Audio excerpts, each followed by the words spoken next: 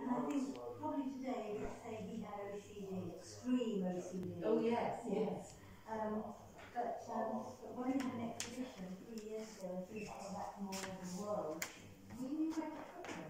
Yes. Remarkable. Absolutely remarkable. But Lady Waldegrave had danced on the floor like in Paris, and not really much He had one really good background. Hello. Hello there. And that's why he got the boxes. Yeah, I